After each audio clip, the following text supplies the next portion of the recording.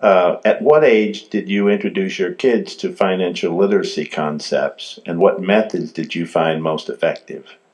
Well, I did very differently. First, and, and you know, you can't answer that question very well because all kids are different.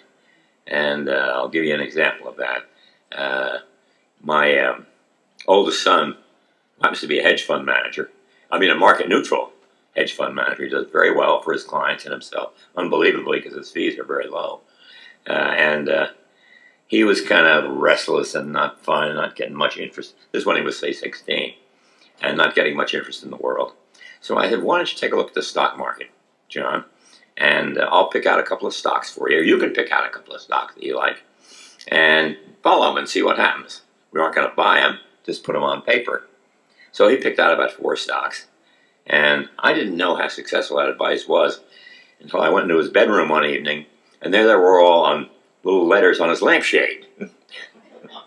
so that was a, it was a way to get somebody interested in investing.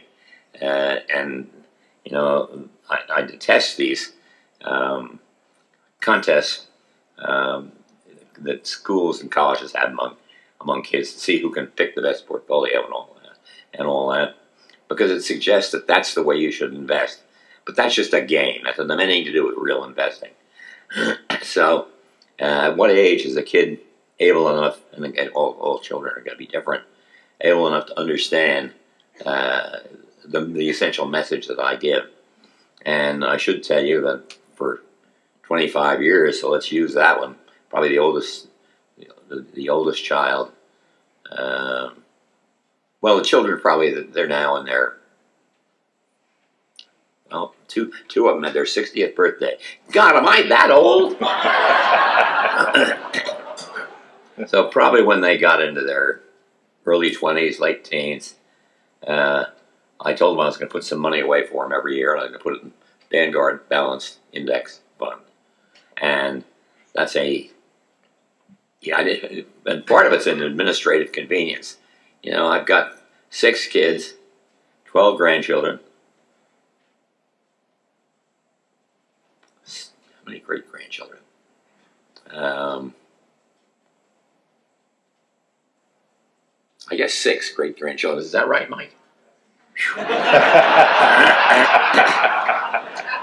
I told you I relied on Mike for a lot. and uh, so probably in their late teens or 20s. And I told them what I was going to do was put it in balanced index fund, told them what that meant. It wouldn't go up as much as the market, but it wouldn't go down. And you didn't have to worry about it.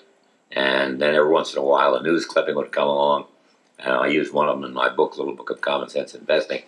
It showed how well the balanced fund had done, balanced index fund, which didn't very sensational at all, but it had beaten the, the college endowment funds. I think it's very close to the chart that Gus Sauter showed you a little while ago.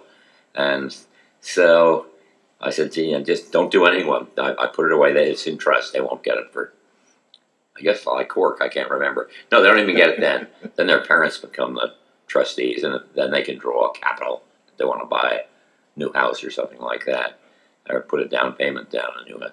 But you would be amazed at, uh, I won't give you the numbers, but putting a large kind of gift that I can afford to do every year, year after year, for 25 years. Wow. My, these damn kids are rich. and uh, I, I, don't give them valuations. I don't talk about it. I want them to make their own way in financial life. And uh, when I cork, they're going to be very, very happy grandchildren. Uh, but um, I won't be there to hear the laughter. I guess. I'm not sure.